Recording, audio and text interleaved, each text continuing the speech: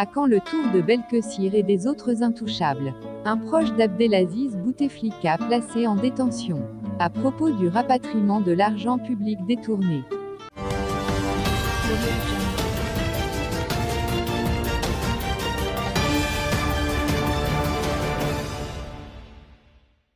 Après Bena mort, Metidji, et Anis Ramani, à quand le prochain tour de Belkessir et les autres intouchables du pouvoir? Après une trêve qui soulève de nombreuses interrogations, la machine judiciaire dédiée à la lutte contre la corruption et les oligarques de l'ère Bouteflika reprend de plus belle. La semaine passée, le 13 février plus exactement, le milliardaire Mohamed Laïd mort, l'une des plus grosses fortunes en Algérie, qui est resté longtemps en liberté à la suite de la chute des Bouteflika, a été placé en détention en compagnie de l'un de ses frères par le tribunal de Sidi Mamed à Alger. Accusés de dilapidation des deniers publics et d'exploitation illégale des terres agricoles, les frères Benamor seront auditionnés bientôt dans le cadre de plusieurs dossiers de corruption longtemps étouffés par la justice algérienne, comme il a été révélé à plusieurs reprises par Algérie par. Le même jour, Anis Ramani, le patron d'Enahar TV, a été incarcéré à la prison de Coléa pour infraction à la législation de change, chantage pour l'obtention d'avantages indus, abus de pouvoir et détention de comptes bancaires à l'étranger. C'est un autre poids lourd du façade en Algérie qui a chuté. Cette semaine commence aussi par une nouvelle affaire qui explose. Comme il avait été rapporté et révélé par Algérie par, c'est la puissante et richissime famille Metidji qui a été soumise à la merci de la justice. Après avoir été convoqué hier dimanche pour la dernière par la brigade de recherche de Bab Jedid, Ossino Metidji et son fils ont été mis sous mandat de dépôt dimanche par le juge d'instruction auprès du tribunal de Sidi Mamed.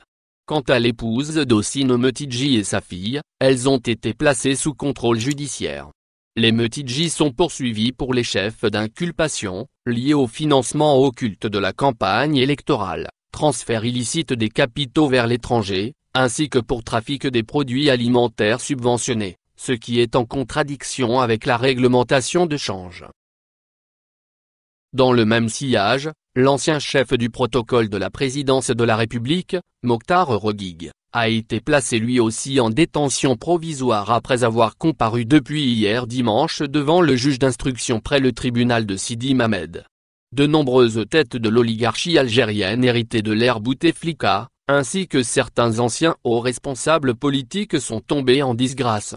Mais la liste des personnalités bénéficiant de l'impunité demeure longue.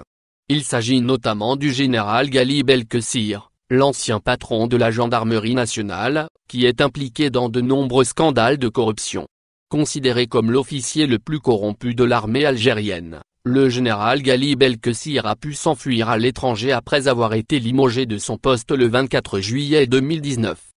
Quelques semaines plus tard, il a pu partir en Espagne où sa famille l'attendait d'abord à Barcelone avant de partir s'installer à Malaga au sud de l'Espagne. Le général Belkessir a échappé ainsi à la justice algérienne alors qu'il est cité dans toutes les grosses affaires de corruption, comme il a été démontré dans de nombreuses révélations faites par Algérie par. Il s'agit du principal maillon de la chaîne de corruption en Algérie. Le général Gali Belkessir est une véritable boîte noire du système de la dilapidation des deniers publics en compagnie de son épouse Fatia Aboukers, l'ex-présidente de la cour de Tipazak, limogée de ses fonctions au mois de juin 2019. Aujourd'hui, le général Belkessir se pavane en toute liberté entre Alicante et Malaga, fuyant ainsi le sort que devrait lui réserver la justice algérienne, à la fois civile et militaire, car ce général est également cité dans plusieurs dossiers au tribunal militaire de Blida. Sur cette liste des personnalités qui n'ont pas été encore touchées par la faucheuse de la justice algérienne, nous retrouvons Mohamed Rougab, l'ex-secrétaire particulier d'Abdelaziz Bouteflika, dont le fils a amassé une énorme fortune grâce à ses affaires dans le secteur de la communication, avec son entreprise Allégorie, qui a remporté les marchés les plus juteux de la publicité et marketing avec les principaux acteurs économiques en Algérie. Des marchés obtenus à la suite de plusieurs combines douteuses et illicites. Le milliardaire Abdelmalek Sarawi continue, lui aussi, de représenter le FLN sur les travées du Parlement algérien, alors qu'il est cité dans plusieurs affaires de dilapidation de deniers publics, et détournement de crédits bancaires et obtention d'avantages illicites. Algérie par avait consacré à cet oligarque originaire de Mascara plusieurs enquêtes documentées et appuyées par des preuves irréfutables. Selon nos sources, Abdelmalek Sarawi est dans le collimateur de la justice algérienne, et il ne tardera pas à être convoqué par la brigade de recherche de Bab Jedid de la gendarmerie nationale. Plusieurs autres personnalités figurent sur cette liste de personnalités bénéficiant jusqu'à aujourd'hui et depuis le début du Irak, d'une véritable impunité.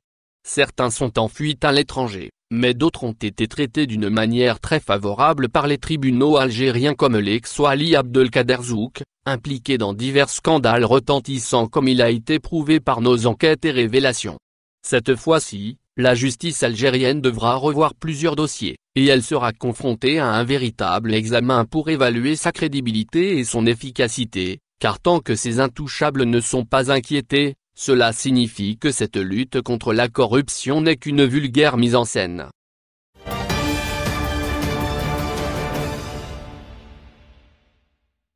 Algérie, un proche date de l'Aziz Bouteflika placé en détention.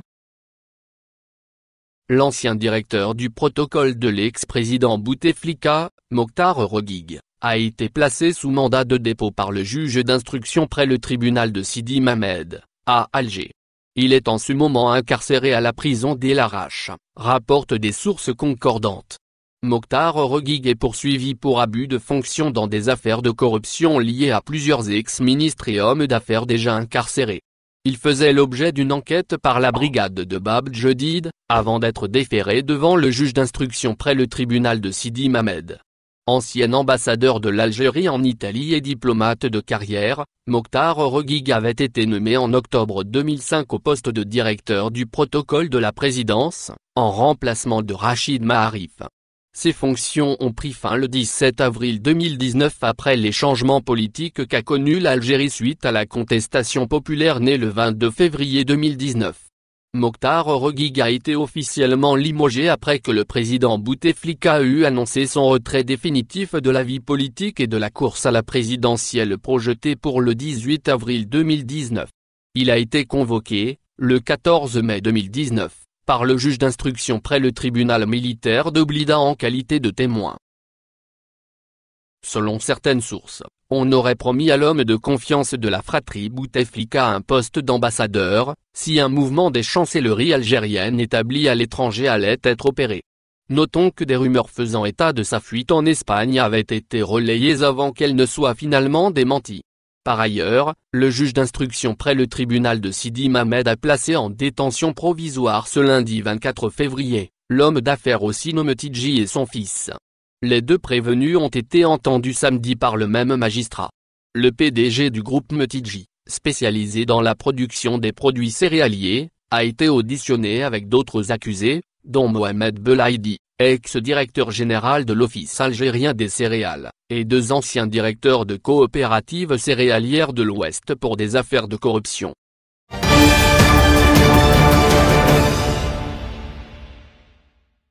Que vaut la promesse de Tebboune de rapatrier l'argent public détourné Le président du fait accompli, intronisé par une violence soft contre la volonté de la majorité du peuple, avait annoncé lors du simulacre de débat, regroupant les candidats aux élections présidentielles, qu'il allait ramener l'argent détourné, volé et bien mis à l'abri dans les coffres des banques occidentales. Ce qu'il faut lui reconnaître, par contre, c'est qu'il n'a avancé ni échéance ni modus operandi pour récupérer ces sommes colossales, qui font le beurre des pays qui s'érigent en protecteurs de l'ordre financier mondial. Ces pays qui se présentent comme des parangons de vertu et des modèles incarnant l'égalité, la justice et la transparence, ne s'accommodent d'aucun scrupule lorsqu'il s'agit d'accueillir les bras ouverts des capitaux suspects, pour créer légalement des comptes bancaires pour des individus rapaces et sans vergogne. La connivence des élites et des dirigeants occidentaux pour ne citer que Sarkozy, Macron ou le Premier ministre Trudeau, voulant convertir le reste du monde et plus principalement l'Afrique aux valeurs de démocratie et d'ouverture, en oubliant vertueusement qu'ils défendent les valeurs de la société du spectacle au détriment des valeurs qui fondent l'humain et le sacral. Ce n'est ni le féminisme ni la théorie du genre ou autre pseudo-égalité qui constitue pour nous un modèle de développement en la matière. C'est plutôt un développement respectueux de la nature humaine vivant en pleine intelligence avec son environnement qui doit constituer notre credo. Disons-le tout court, les valeurs de l'Occident receleur ne sont pas universelles.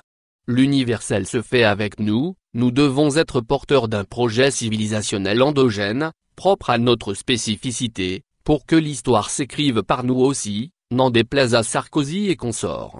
Je ne crois pas exagérer en disant qu'à l'échelle du pays, le Irak est porteur d'un immense espoir, dans ce sens, d'abord pour notre pays et peu demain forcément essaimé sur d'autres contrées.